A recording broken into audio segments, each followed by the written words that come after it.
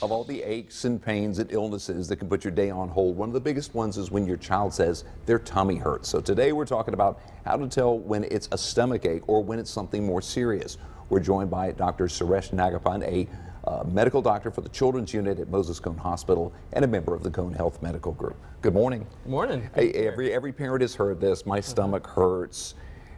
How do you differentiate? When do you know it could be something more serious? Well, first I'll tell you, I've been on both sides of this issue as a parent and as a doctor, and it's. Yeah. miserable. So you've heard it coming from your kids I've heard too. from my own kids. It's miserable. Like they're throwing up all night. And Yeah. They're up all night. You're up all night. You're cleaning up. Um, so it's one. Of, the- it's a tough thing that parents have to go through. Sure. Um, the first thing I would say for parents is that the vast majority of time, a stomach bug is something benign. It's not something that's a problem. Okay. Nothing serious is going to happen. Um, time is your best friend. Um, as time goes by, things get better.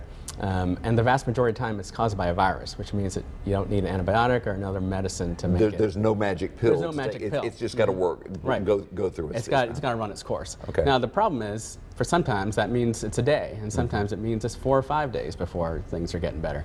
Um, and Is, is, it, is it particular to the virus that would be involved here, or, or, or maybe how sick? If a child gets extremely sick, the recovery time is going to take longer. Mm-hmm. It's a little bit of it's a little bit of both. Okay. So it can be the specific virus that's causing it, but also I've seen the same virus hit one child in a family, get better in a day.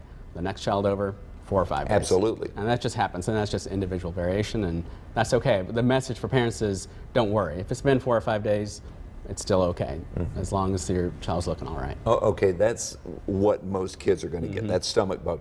When do you know if it's something more serious? What are the signs that you want to look That's for? That's a good question. Um, so there's a few messages I want people to know uh, when they're trying to decide is this something more serious.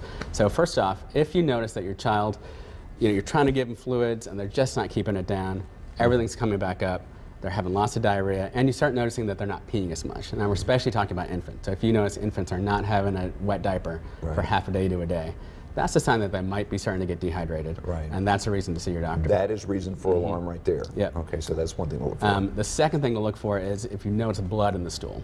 So blood in the stool can still be caused by a virus, but it makes us start thinking about could this be something else? Could it be a bacteria or some other kinds of infection? So what we want you to do is come and see your doctor. They'll do a careful exam. They may even test the stool to see what specific bug is in there, mm-hmm. and that can help them decide what to do. Absent those two things, is Mm-hmm. longevity something to be alarmed at? As you said, some kids might go th- 2 or mm-hmm. three days. Is is that alone enough to be alarmed about? Not, not in the two to three day range. Once you mm-hmm. get to about a week, then I think it's time to, Sure.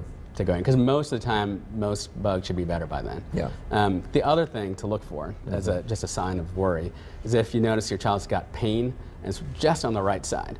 Now that is a sign of appendicitis. Okay. Um, and appendicitis can sometimes mimic a stomach bug. And so what we want people to see is like, oh, if you got that pain right Particularly there, on the right particularly on the side, right though. side, bring them on in. Um, and then they might need an X-ray or an ultrasound or something else to, Mm-hmm.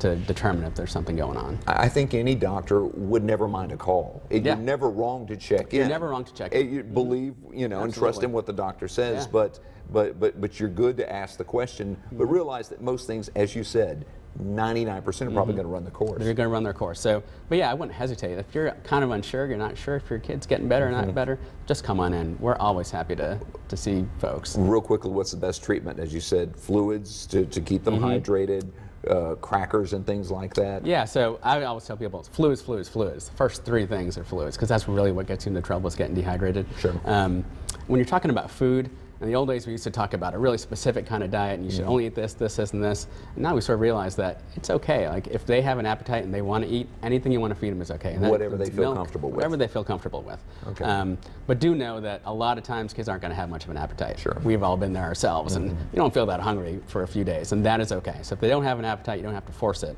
But um, what if they want to eat, whatever you want to give them is okay. Great advice. Thank you so much. You're welcome. Appreciate it.